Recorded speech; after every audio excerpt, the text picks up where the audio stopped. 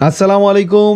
আশা রাখি সবাই ভালো আছেন, সুস্থ আছেন। হ্যাপি শীত ডে মানে এখন শীত চলতেছে বা শীত চলে আসতেছে। সো আজকের আমি যে ভিডিওটা করব, সেটা হচ্ছে পাখিকে আপনি শীতকালে কীভাবে যত্ন নেবেন। আর এই ভিডিওটা করার জন্য আমাকে সম্পূর্ণ হেল্প করেছে আবদুল্লাহ মোজাম্মিল ভাই। তো ভাইয়া সাভারে থাকেন এবং ওইখানেই তার ভালো মানের সেট আছে। তো ওনার কিছু এক্সপিরিয়েন্স সাথে মিক্স করে আমি আপনাদের সাথে শেয়ার করছি, এই ভিডিওটা করছি। দরজার করা নাড়ছে কিন্তু শীত। আর তাই অনেক পাখি ভাই বোনেরা গ্রুপে এবং বিভিন্ন মেসেঞ্জারে কিন্তু পোস্ট করতেছে, ভাইয়া, শীতকালে কীভাবে পাখির যত্ন নিব। শীত আসলেই দেখা যায় পাখি অসুস্থ, হিরিক পড়ে যায়। এবং এই সময় সবচেয়ে কমন একটা অসুখ যদি বলি বা রোগ যদি বলি, ঠান্ডা লাগা। অনেক পাখি মারাও যায়। শীতে আসলে অনেক নতুন পাখালি বুঝতে পারে না পাখি কীভাবে যত্ন নিবে। অথবা বুঝে ওঠার আগেই শেষ হয়ে যায় তার আদরের পাখিটি। শীত, শীতকালে পাখাল, পাখি নিয়ে যে সমস্যাগুলো পড়ে তা হচ্ছে, এক, পাখি গা ফুলিয়ে বসে থাকে। দুই, দুর্বল ও অসুস্থ হয়ে পড়ে। তিন, সবুজ ও পাতলা পায়খানা করে। চার, বাচ্চাদের ফিডিং বন্ধ করে দেয় মানে নতুন বাচ্চাদের খাওয়ানো বন্ধ করে দেয়। পাঁচ, পাখি স্থায়ী শ্বাসতন্ত্রের রোগে আক্রান্ত হয়। ঘন ঘন নিঃশ্বাস নিতে থাকে। মনে হবে কি ব্যাপার? এত তো গরম না, তারপরে এত দ্রুত নিঃশ্বাস নিচ্ছে কেন? ছয়, ঠান্ডাজনিত রোগগুলো অনেক বেশি বেড়ে যায়। সাত, পাখি অসুস্থ হলে সুস্থ হতে অনেক সময় নেয়। যেমনটা আমাদের শীতকালে হাত পা কেটে কুটে গেলে দেখবেন যে শুকাতে অনেক সময় লাগে। এক্স্যাক্টলি সেম পাখি অসুস্থ হলে সুস্থ হতে একটা সময় নেয়, যেহেতু রোদের তাপটা এখানে পাচ্ছে না। আট, পাখি মারা যায়। হুট করে পাখি মারা যায়। শীতকালে পাখি অসুস্থ হয় কেন? এবার আমি ক্লিয়ার করি। শীতকালে পাখি অসুস্থ হওয়ার প্রধান কারণ হলো আমাদের দেশে আবহাওয়ার বৈচিত্র্য। এখন তো ভাই মানুষরাই হুটহাট অসুস্থ হয়ে যায় সিজন চেঞ্জে এখানে তো পাখি। উদাহরণস্বরূপ যেমন বাজরিকারের জন্য আদর্শ তাপমাত্রা হচ্ছে বিশ থেকে আশি,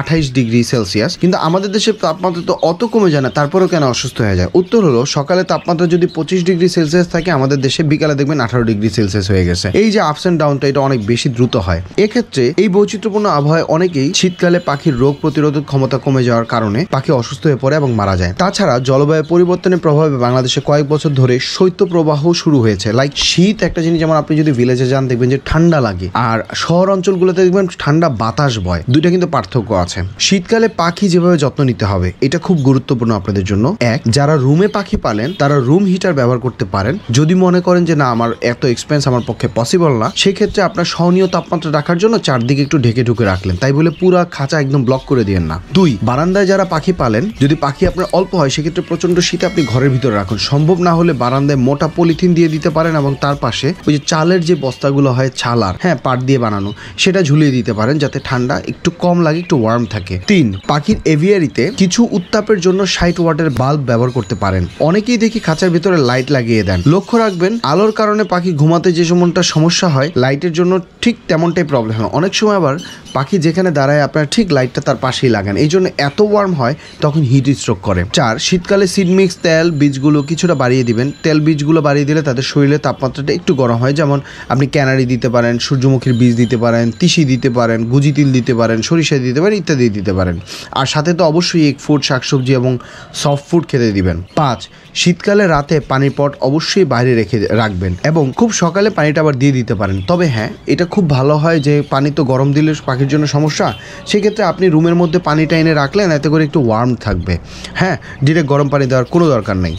ছয় শীতকালে পাখির জন্য মধু খুব উপকারী, তাই বলে প্রতিদিন মধু দেওয়া যাবে না, সপ্তাহে অন্তত দুই দিন দিতে পারেন মধু। কজ মধু শরীর গরম রাখে ঠিকই, কিন্তু তাদের ডাইজেশনে একটু প্রবলেম হয়ে যায়। আর আমি যদি পরিমাণ বলি পাঁচশো গ্রাম হালকা কুসুম গরম পানিতে পাঁচ মিলি পরিমাণ মধু আপনি মিক্স করে দিতে পারেন। এটা সপ্তাহে দুই দিন দিলে ভালো মনে করেন মাঝখানে দুই তিন দিন গ্যাপ দিয়ে গ্যাপ দিয়ে দিলে ভালো।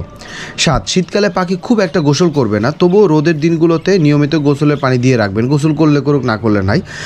আর যদি গোসল করে ফেলে আপনি যদি দেখেন, সেই ক্ষেত্রে পটটা সরিয়ে রাখবেন, না হলে দেখা যাবে তারা একটু পর গোসল করতে পারে। যদি সম্ভব হয় দিনের কিছুটা সময় খাঁচা রোদে রাখতে পারেন, যদি সম্ভব হয়। ধরেন আপনার কাছে মাত্র এক জোড়া বা দুই জোড়া পাখি আছে। যদি প্রবলেম হয়, সম্ভব হয়, তাহলে রোদ দিয়ে রাখবেন। আর যদি দেখেন যে যে দিক দিয়ে রোদটা আসে, সেই দিক দিয়ে বাতাস আসতেছে, তাহলে রোদে না দিলেও হবে।